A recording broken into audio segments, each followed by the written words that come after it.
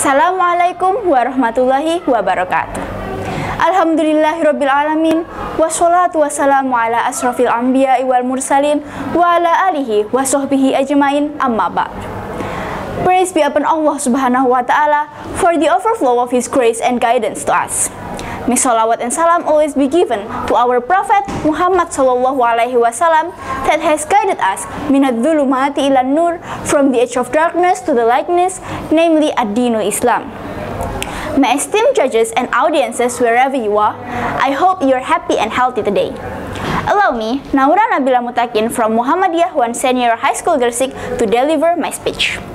When I was in middle school, my teachers used to teach us about great character.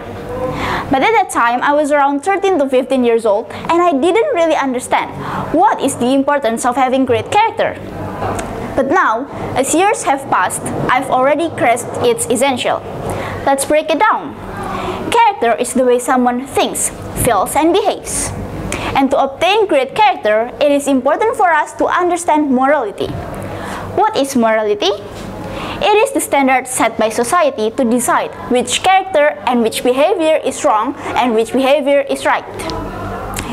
On this occasion, we will be talking about building character and its role in enhancing the unity of Indonesia through an Islamic perspective.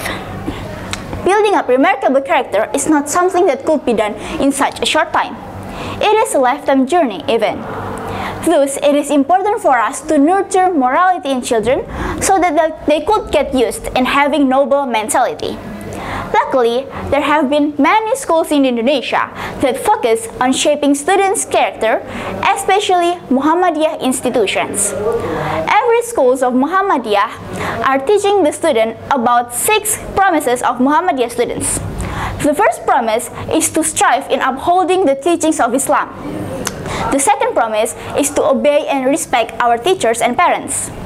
The third promise is to be diligent in learning. The, first, the fourth promise is to work hard, to be independent, and to achieve big things. The fifth promise is willing to help others. And the sixth promise is ready to be the next cadre of Muhammadiyah and the nations.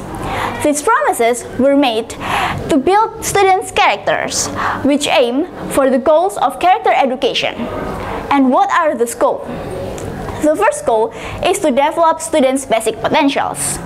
The second goal is to strengthen the behavior of a diverse nation since an early age. The third goal is to maximize the civilization of creative nation in world relations. Other than those three goals, the other glory of having great character is also stated in the Al-Quran, Quran Surah Ali Imran, verse 134. أعوذ بالله من الشيطان الرجيم. بسم الله الرحمن الرحيم. الذين ينفقون في السراء والضراء والكاظمين والكاظمين الغيظ والعافين عن الناس. والله يحب المحسنين. صدق الله العظيم. Muslims are those who donate in adversity and prosperity, those who control their anger, and those who pardon others. And Allah loves the good doers. If these three qualities become the morals of the nation and is engraved in every of the citizens' heart, then surely Indonesia will be a much greater nation. Indonesia has the ideology of Pancasila, it will be marvelous if all citizens of Indonesia are committed to Pancasila, where a great nation is marked with the society's remarkable personalities. Talking about Pancasila and character, there are two principles of Pancasila that are likely to be realized by enhancing the morality of the nation. Those principles are the, the second principle and the third principle, a just and civilized humanity and unity of Indonesia. In this digital era, we have to understand that Pancasila is slowly fading away from the hearts of the citizens. Thus, it is our duty to bring it back, to bring the spirit of Pancasila back to the heart of the nation. As social beings, it is inevitable for us to interact with others on a daily basis. And through these interactions, it is possible for us to either strengthen our bonds or break them apart. Evidently, if we want to live as a happy and prosperous citizen, we ought to have great character in order to gain others' trust and respect. Others' trust and respect is very important in our lives. And why is that so?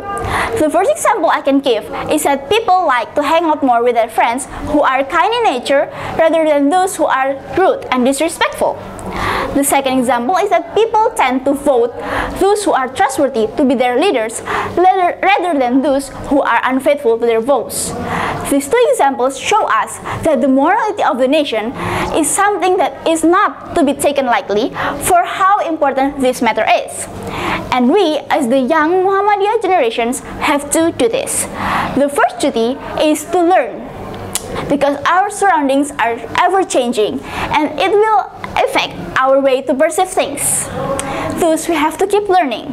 We have to understand our surroundings. We have to hear, we have to listen from others' perspectives and experiences. And then we have to act based on the morality that has been stated in Al-Quran and As-Sunnah and based on what we've experienced and what we've learned. The second duty is to teach the younger generation, the future generation, because even though we are 30% in the future, because even though we are 30% in the present, we are 100% in the future. That is my speech. If I made any mistakes, I deeply apologize. And if there is something good, that is solely because of Allah subhanahu wa ta'ala. May we take lessons from for here and the future. Nun wal kolami wa ma yasturun. Wassalamualaikum warahmatullahi wabarakatuh.